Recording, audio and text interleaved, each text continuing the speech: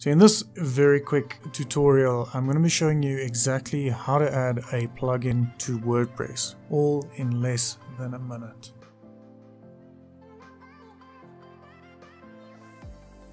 So what you want to do is log into your backend of WordPress. From there you want to go to plugins and add new plugin.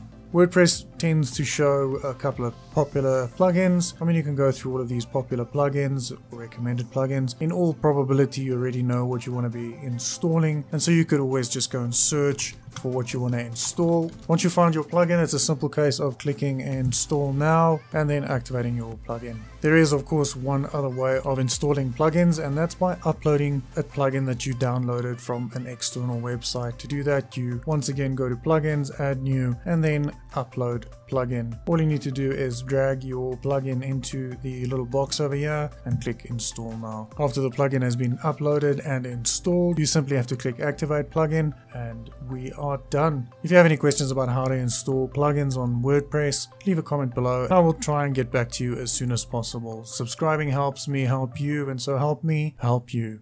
Stay awesome.